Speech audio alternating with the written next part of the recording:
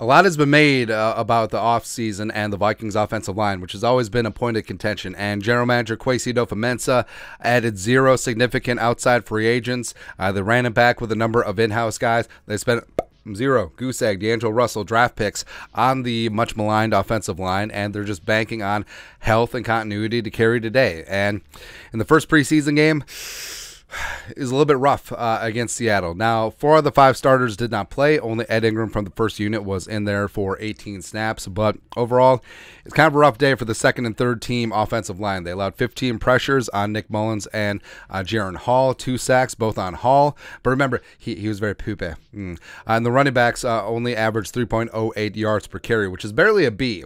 It's not even acceptable uh, by Asian parents. But I, I know it's very fashionable uh, to freak out and base the entire season off of one preseason game that didn't involve four out of five starters along the offensive line. But tranquillo, tranquillo, tranquillo. Yeah, that'll thing. Relax, calm down, and it wasn't a good night for the offensive line. And throughout training camp, the O line has had its share of issues picking up some of the exotic pressures uh, actually erotic pressures mm, uh, that Brian Flores and crew are, are coming up with. But it, it's better that they're getting the this baptism by fire now, and hopefully it will carry over into the regular season. And also, like we said, don't judge things until you see the first team offensive line. And Brian O'Neill back uh, in full team uh, drills uh, as of Sunday, which is a fantastic sign.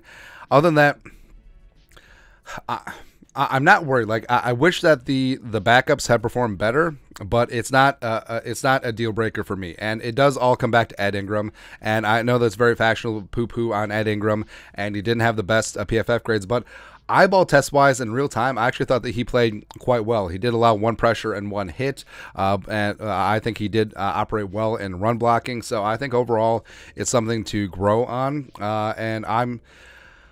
I'm not worried, but also what what other options do we have right now? And in terms of personal performances uh, against the Seahawks, I thought that Brandel played well. I thought that Schlottmann played well. Uh, Oli Udoh had some good, bad moments, whatever. Vederian Lowe had some ups and downs. He allowed a sack. Uh, Christian DiLauro allowed a sack too. Uh, Zach Snyder, Josh Sokol were okay. So I'm not I'm not I'm not freaking out. Like I, I am not in uh, I'm I'm not DefCon four or whatever the highest one is. Although a lot of people are uh, a lot of Vikings fans are like, oh, same old offensive line, just what I told you, you know, far crazy, all, all, all, that stuff. But it, it does come back to Kirk Cousins, where last year 46 sacks, career high pressures, uh, and we saw from the quarterback documentary just the the uh, the pounding that he took last year. It's a little bit rough, but they they are banking on continuity up front, where uh, Darrisaw uh, missed time twice with injuries uh, or with uh, concussions last year, and Christian Darrisaw is rising up to be one of the best offensive uh, tackles in the game. O'Neill come back from that Achilles. Ezra hopefully can get things together in year four. Bradbury ascended, uh, but he also had a back injury too. Now, it, it does come back to Ed Ingram.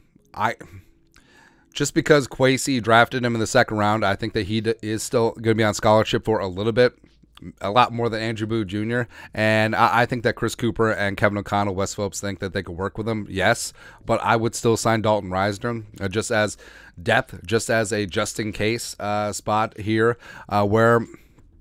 I, again, like I said, where I think Brandel played well, Alan Ali played okay. Where it's like, I, I would still have Risner. I would still prefer Risner. Come on up for the Risner uh, to potentially replace Ezra or step in if uh, Ed Ingram keeps stepping on Kirk Cousins' feet. Uh, th- that whole thing, man. But uh, again, everyone's freaking out about their performances in the first preseason game. I'm worried about this this is all that I, am worried about. And Darrisaw is rising up and becoming one of the best young left tackles in the game. Ezra hopefully can get his ish together. Bradbury last year became a top 10 adjacent type center. Hopefully he can rise up a little bit more. And I, I do think that confidence is a big thing uh, in, in, this game, as well as having an offensive line coach in Chris Cooper who understands what's going on here. You know, Cooper, an undersized guard, uh, coming from that Bronco scheme as well. Uh, Ed Ingram, I think, will greatly improve in year two, especially in pass blocking. And O'Neill, coming back from the Achilles, hopefully he resumes his spot as uh, one of the best right tackles in the game. So. The Vikings tackles are there. The interior offensive line is where I have issue. Uh, that's why by hook or by crook, get Dalton Risner in this building. I don't care if it's for depth. I don't care if he has to be the highest paid backup guard in the league. I, I, I do not care.